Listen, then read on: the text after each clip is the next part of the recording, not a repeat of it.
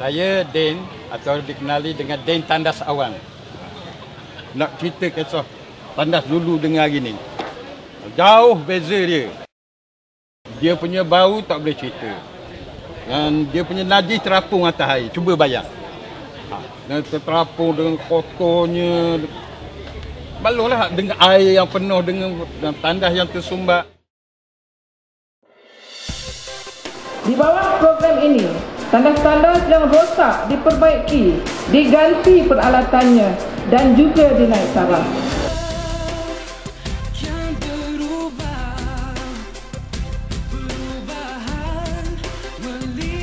Nama saya Yuhon. Saya dari Kuantan.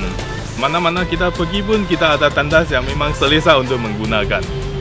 Banyaklah negeri-negeri hari ni yang saya dapat tahu banyak tandas-tandas awang seperti ini yang di, di, dibina. Yang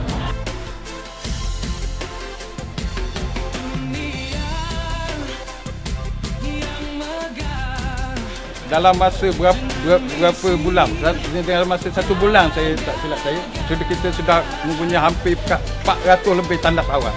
Satu bulan lebih lah saya ingat sudah siap. Dan yang baru dengan yang berkualiti.